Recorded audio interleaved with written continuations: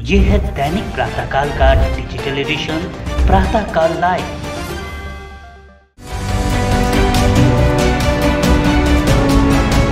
Maharashtra के सांसद संजय राउत ने रविवार को राष्ट्रीय स्वयंसेवक संघ और एकनाथ शिंदे के नेतृत्व वाली शिवसेना के खिलाफ हमला करते हुए कहा कि आरएसएस और वीर सावरकर की विचारधाराओं के बीच कोई मेल नहीं है।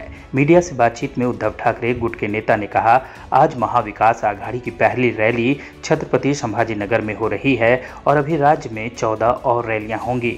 उद्धव ठाकरे, नाना पटोले और अजीत पवार जैसे नेता उनमें शामिल होंगे। रैली की पूरी तैयारी ज़ोर शोर से की जा रही है। भाजपा और शिवसेना द्वारा ठाणे में निकाली जा रही सावरकर गौरव यात्रा के बारे में पूछे जाने पर राउत ने उन पर आरोप लगाते हुए कहा कि वे लोग सिर्फ़ राजनीतिक लाभ के लिए यात्रा निकाल रहे हैं। संजय राउत ने कहा कि वीर सावरकर हमेशा हमारे लिए आदर्श रहे हैं, लेकिन भाजपा शिवसेना केवल राजनीतिक लाभ के लिए ऐसा कर रहे हैं। राउत ने कहा कि सावरकर जी और आरएसएस की विचारधारा बिल्कुल मेल नहीं खाती। आरएसएस ने सावरकर जी के हिंदुत्व को स्वीकार नहीं किया। सावरकर दाढ़ी रखने के खिलाफ थे और वे कहते थे कि दाढ़ी केवल छत्रपति शिवाजी को शोभा देती है और किसी को नहीं। क्या एक नाथ शिंदे अपनी दाढ़ी कट पाएँगे? पेंडी जाणवायचं हिंदुत्व ते सावरकरांनी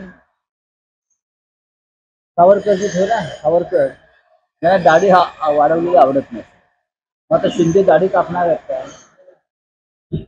सावरकरांनी सांगितलं होतं की दाढी वगैरे वाढवणं आपलं धर्म बस. कोणी वाढव व्यवस्थित राहायचं प्रत्येक मग आता एकनाथ शिंदे वगैरे जे सगळे जे डॉक्टर मिंधे वगैरे लोक आहेत ते गुळगुळीत गाडी करून फिरणार आहेत का सावरकरांच्या यात्रेमध्ये? आणि लोकांसमोर हे प्रश्न आहेत की तुम्ही सावरकरांची गौरव म्हणजे सावरकरांची विचार यात्रा काढता तुम्ही सावरकरांचं साहित्य वाचलंय का आधी मिंदे गटानं सावरकर साहित्याचं पारायण करावं